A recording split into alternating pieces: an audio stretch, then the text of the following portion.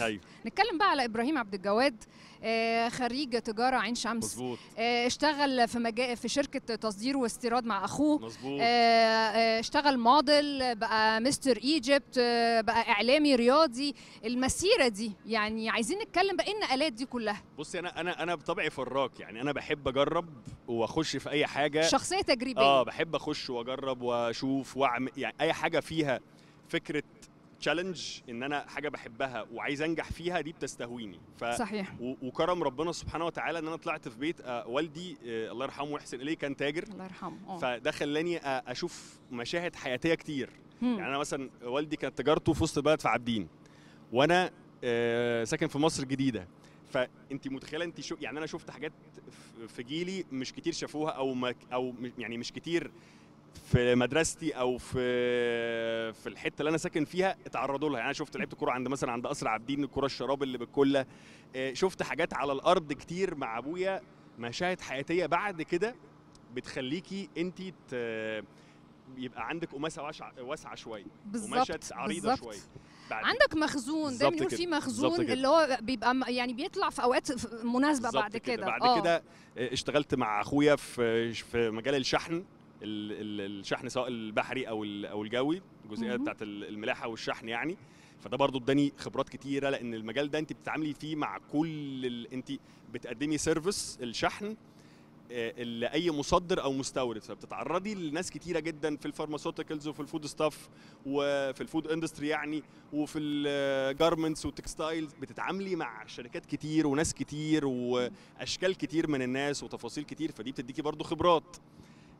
دخلت الإعلام فزي ما كنت بقول لك نعمة من نعم ربنا إن أنا اشتغلت الأول في صباح الخير يا مصر فانت كنت بتشتغلي في كل حاجة ثقافة بس ده كان. بعد Mister Egypt. ده كان بعد Mister Egypt آه. Mister Egypt هل أتاحت ليك الفرصة إن أنت يتم اختيارك كمقدم برامج؟ آه، أكيد ليها أكيد ليها دور لأن أنا الموضوع جه إزاي؟ إن أنا لما دخلت أنا Mister Egypt كنت رايح اسمع واحد صاحبي يعني واحد صاحبي كان عايز يبقى fashion model. Okay. فرايح يعمل casting في agency فقال لي تيجي معايا. قلت له أجي معاك. أنا جاي في أي حاجة. تمام؟ فرحت فالايجنسي دي بتقول لي طب مش عايز تعمل إعلانات أنت كمان؟ قلت له ما أعمل إعلانات ما أعملش إعلانات ليه؟ طب تعالى أعمل casting دخلت عارفة ال casting اللي هو تقفي تعملي كده وبتاع ومش عارف إيه. هتقول لي؟ آه.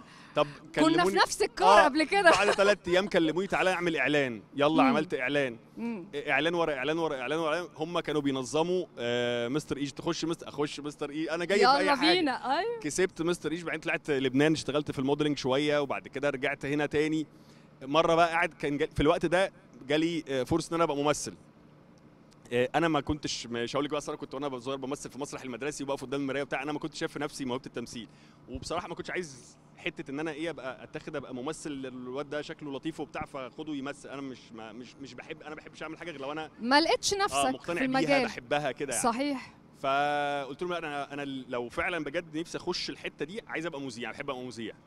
أوكي. وسبحان الله جت بقى الموضوع كده إن أنا جات لي فرصة قابلت أستاذ عبد اللطيف المناوي كان هو ساعتها ماسك قطاع الأخبار وكان شغال في التطوير ساعتها.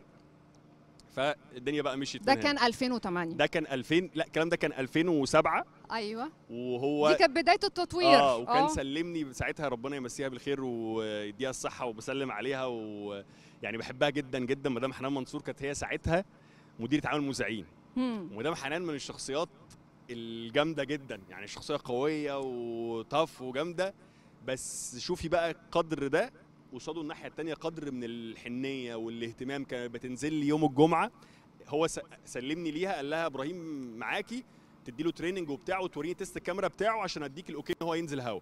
Okay. قعدت معايا حوالي 3 4 شهور. تنزل لي يوم الجمعة الأجازة بتاعتها. آه، بتتفرج لا نحسن لا نزود. آه، لا دي مش كويسة لا اللغة العربية لا خد دورات لغة عربية لا اعمل كذا. فضلت ورايا بحب واهتمام وتركيز. ما انساش فضلها عليا ابدا. لغاية لما عملت تيست فاستاذ لطيف قال تمام آه، يلا ننزل هوا ونزلت من ساعتها بقى نشرات وصباح الخير يا مصر